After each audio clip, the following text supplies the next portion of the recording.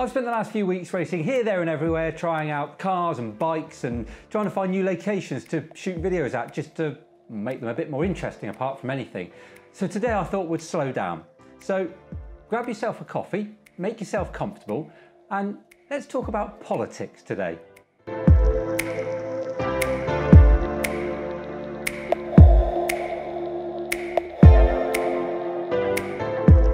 Morning, that's better. Now, I've tried to start this video several times now. It's really early and my brain's not working, so I am going to use some notes today. So please excuse me while I keep looking down. That's what I'm doing. I'm just trying to uh, work out where I'm going next because my brain's not working yet and I haven't had enough caffeine. But um, what I want to do is uh, talk about something that I don't really talk about on this channel very often, or if at all. And politics, because it's so personal, it depends where you live, what your interests are, uh, what your job is. If I start talking about politi politics generally, we've all got a different opinion based on those external factors. And uh, it will probably end up in a row in the comments section where nobody's right, nobody's wrong. It's just a very personal thing. But every so often, something happens in the world of politics where I think it brings us all together.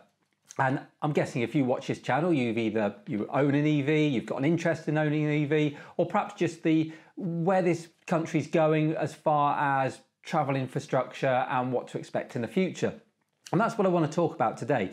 Something that the uh, government appear in this country to be really interested in and really trying to uh, make a difference with.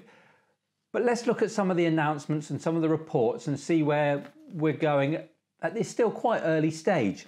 So the National Infrastructure Commission, they're an independent body that the government have employed to write a report on actually quite a lot of things. It's everything from uh, fibre optic broadband to how we're going to recycle plastic in the future to our utilities.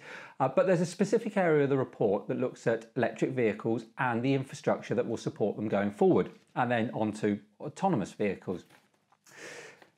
As I say, it's an independent report that the government have no obligation to follow, but uh, it gives them a guide about what's happening and where this independent body see the future being.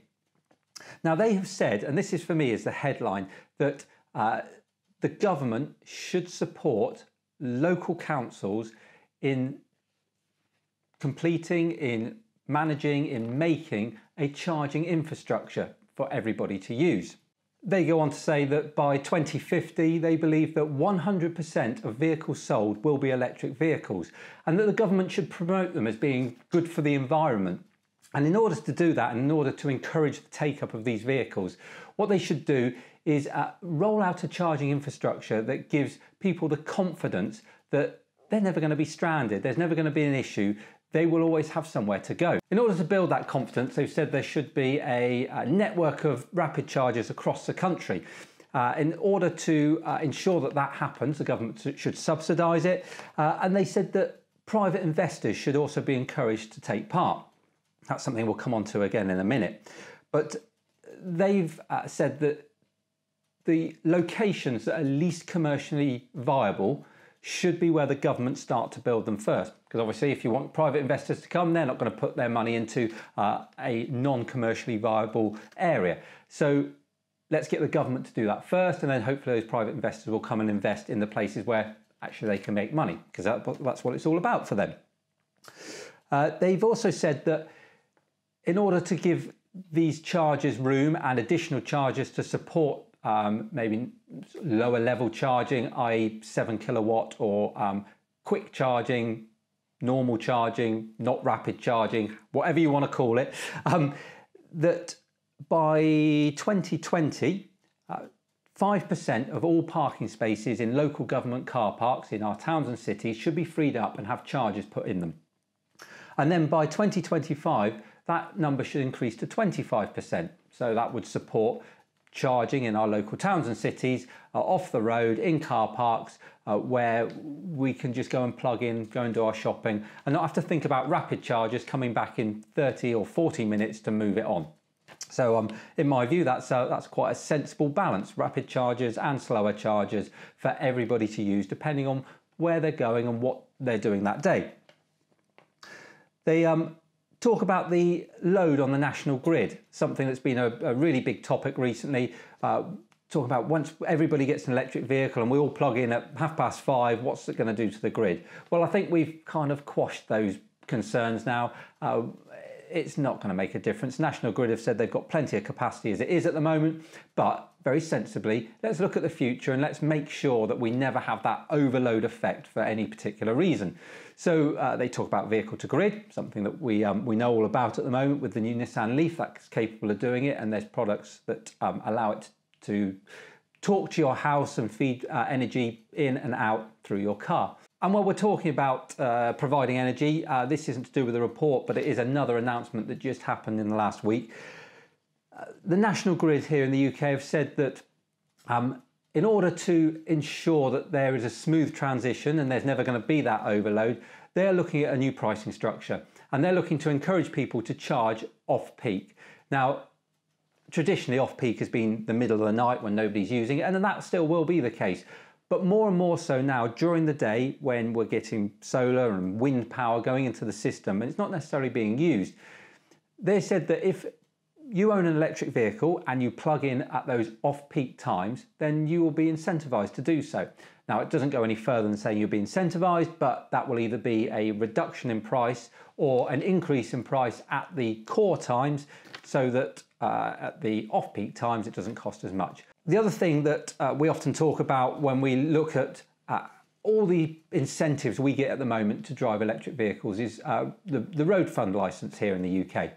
Uh, at the moment, if you buy an electric vehicle, you don't pay any road fund license. Um, it's obviously there's a structure depending on the pollutants that a car kicks out of how much you pay if you drive a petrol or diesel car. Well, obviously, if we all move to electric vehicles, where's that money going to come from to maintain the roads and um, our, our infrastructure? Well, it's going to have to change at some point. And it's a topic that we've spoken about for years and years and years about uh, really the road fund license probably isn't fit for purpose, even if you take electric vehicles out of the equation. But this gives the government now the perfect opportunity to review that in its entirety and look at how we as individuals and businesses use our vehicles.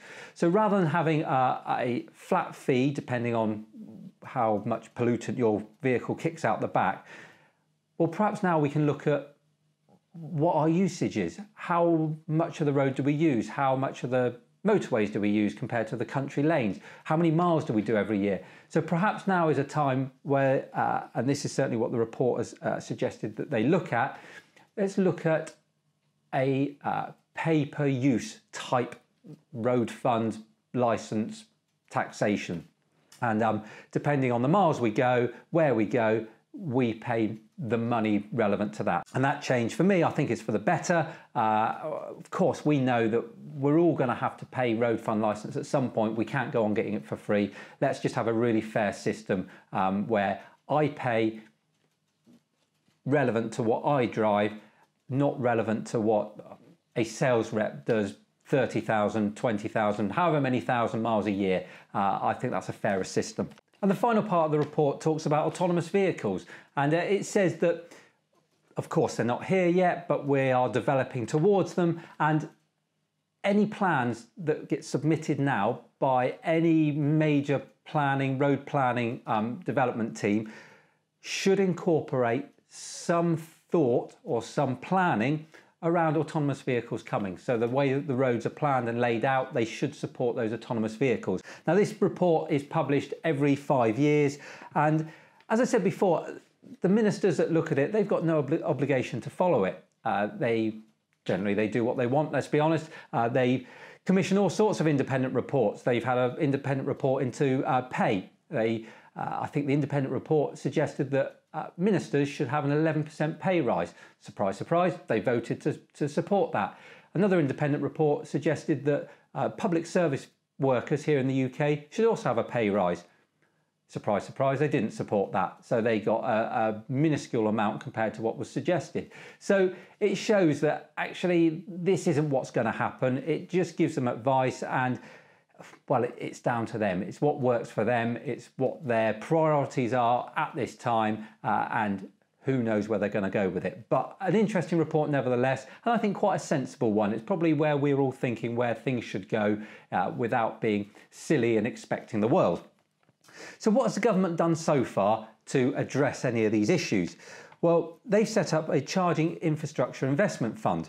They said this fund is uh, it's a 400 million pound project, and when you actually scratch beneath the surface, what you find is that they have uh, pledged 200 million pounds into this fund, and they're expecting to raise another 200 million pounds from private investors.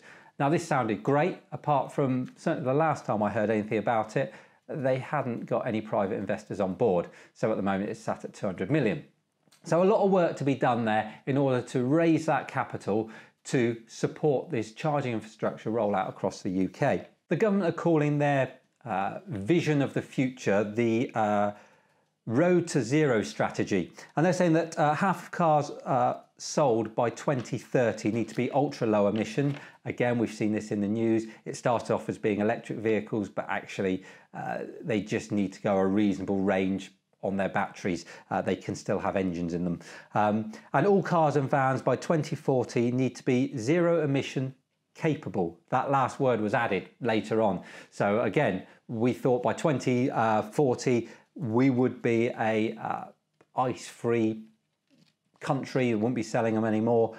But actually, they've just upped the mileage a bit and said that the cars need to be able to travel on their batteries for a bit further. So um, I wouldn't say the government have really stuck their neck out uh, and they're really pushing forward with it. They're being quite cautious. And uh, I think there's an awful lot of pressure from uh, the car manufacturing companies on the government, especially with everything else that's going on at the moment. And Dara mentioned that Brexit word. They're trying to just settle things down and keep things stable.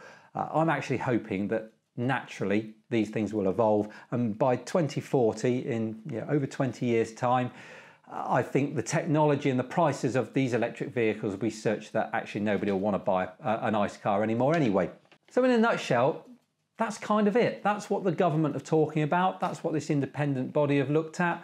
Uh, that's the vision for the future. Um, what do you think? Are we pushing ahead, doing enough? Are we, uh, I say we, the, the government here in the UK, are they taking it seriously enough? What are your thoughts? Pop something in the comments. Let's have a bit of a discussion about it not an argument because we're all singing off the same song sheet. I'm sure we all want the same thing. So um, it'll be interesting just to uh, hear your views on it. And have, is there anything else that's going on that maybe in your local uh, council they're really pushing ahead with it, or perhaps the opposite? And I know there's big sort of black spots in the country that there's no charging infrastructure whatsoever. So um, let's have a chat about it in the comments. But for now, hopefully you've enjoyed the video today. If you have, remember to like and share. And if you're not doing so already, subscribe to the channel. Don't forget you can find me on Twitter and Instagram. Uh, and also, if you want to support the channel, uh, follow the Patreon link that will pop up in a minute in the screen. But for now, thanks ever so much for watching. Uh, and I'll see you again soon. Take care.